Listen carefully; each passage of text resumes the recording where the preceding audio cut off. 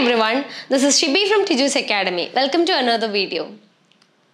We all make some common mistakes while doing OET writing tasks. Today, I am here with such a word that we all have a confusion.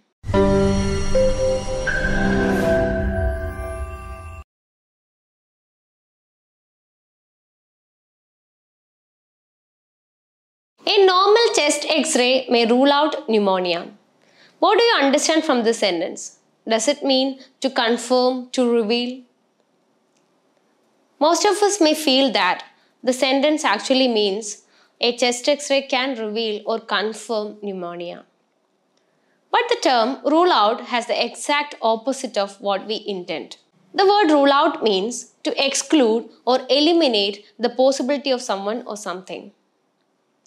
So here in this sentence, it doesn't confirm the chance or the possibility of having pneumonia, but it excludes the possibility of pneumonia. I hope you understood what is the difference. Now let's look into an example from a case note.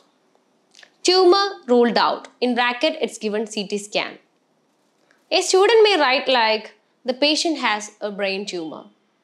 But it is actually the opposite of the meaning of the word ruled out.